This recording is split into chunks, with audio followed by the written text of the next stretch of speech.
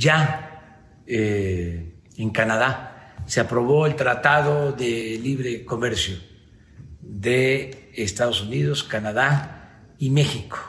Ya lo aprobaron por unanimidad en la Cámara de Diputados en Canadá, la Cámara Baja. Ahora eh, pasa al Senado.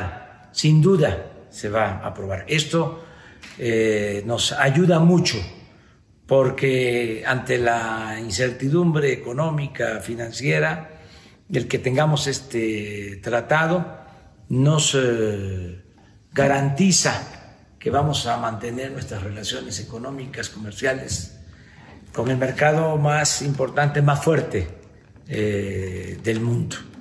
Esta es la noticia que quería transmitir. También, ya lo dije, lo repito, lo primero es el bienestar.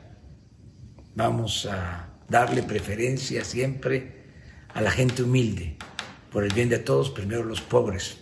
Por eso estoy muy contento que ya se elevó a rango constitucional el apoyo a los adultos mayores, la pensión para niñas, niños con discapacidad, el que tengan derechos eh, los jóvenes que estudian de familias de escasos recursos económicos a recibir una beca. Eso ya es un derecho constitucional y desde luego el derecho a la salud, atención médica y medicamentos gratuitos. Eso eh, da eh, protección, da seguridad a los más necesitados. Ahí vamos, hacia adelante. Miren las diferencias, los contrastes este jarrón de la época del imperio, cuando el palacio era palacio imperial. Esto está hecho en Viena, como estas lámparas. Yo creo que alcanzan a ver. está Maximiliano y está el águila con la corona. Y miren acá. ¿Quién está?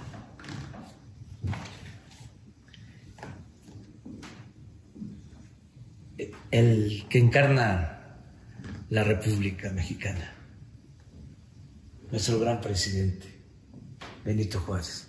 Bueno, no era ese el motivo de comunicarme con ustedes, pero aprovecho. Ya estamos ordenando para que no haya en el Palacio mezcla, que se pongan eh, las épocas